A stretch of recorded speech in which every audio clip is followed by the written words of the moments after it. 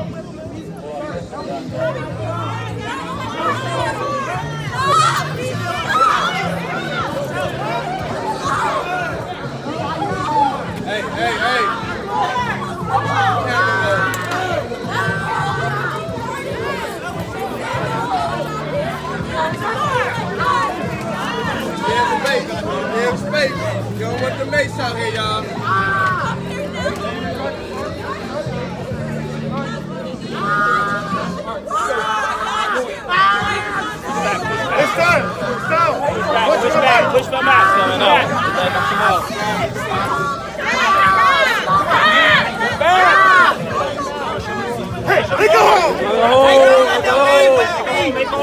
let them live with me. Excuse me.